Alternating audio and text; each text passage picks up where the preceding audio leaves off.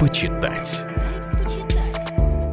Здравствуйте, я Ксения Станиславовна Лицель, декан факультета филологии Вятского государственного университета. Поздравляя кого-нибудь, мы всегда от всей души желаем долгих лет жизни. Но, к сожалению, далеко не каждому удается дожить до преклонных лет, сохранив ясность рассудка и хорошую физическую форму. Рецептов много, но не все они работают. И вот мировой бестселлер под слоганом «Искусство жить долго, доступное каждому». Книга называется «Почему японцы не стареют? Новый образ жизни. Секреты страны восходящего солнца». Это результат 25-летнего исследования образа жизни и состояния здоровья самых долгоживущих людей на Земле – жителей Окинавы. Здесь находится американская военная база, а во время Второй мировой войны шли продолжительные кровавые бои. Тем не менее, доживших до столетнего возраста здесь больше, чем где-либо в другом месте на Земле. А у большинства отличное здоровье. Почему? Наследственность? Конечно. Но какую роль играет окружающая среда, физическая активность, режим питания, духовные практики? И если это так, то возможно ли и другим людям в других местах земного шара заимствовать все это у жителей Окинавы? Авторы убеждают, это возможно. И разрабатывают разрабатывают пошаговую программу, да еще и прилагают множество рецептов, кулинарных, разумеется. Предупреждаю, что в книге нет чудодейственных рецептов омоложения. В основе результаты скрупулезной научно-исследовательской работы, не противоречащей новейшим данным медицины в области здорового образа жизни и здорового старения. Принципы такой программы жизни острова Окинавы общедоступны и просты. Это регулярная физическая активность, рацион питания, основанный на потреблении пищи растительного происхождения,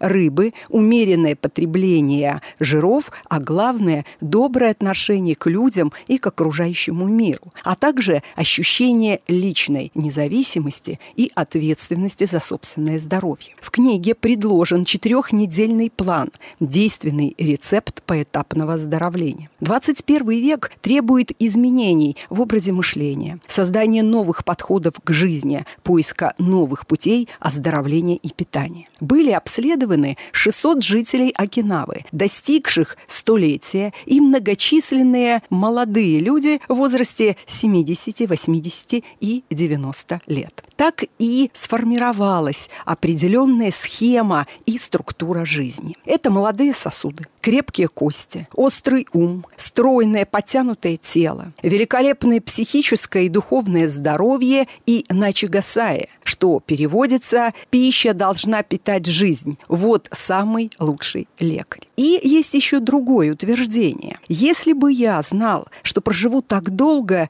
я бы лучше о себе заботился.